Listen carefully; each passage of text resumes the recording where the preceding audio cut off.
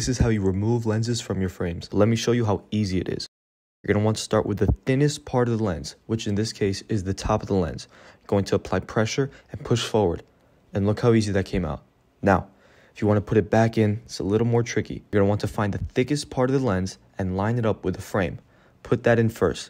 Then go right across the lens, should look something like this, and push that side in. Then the sides that are still sticking out, push them in. And if it isn't so easy, you can also use a blow dryer and heat up the plastic frames. For this video, I didn't need it because I've been doing this since I was in the womb, but whatever is easier for you. Congratulations, you can now call yourself an optician in training.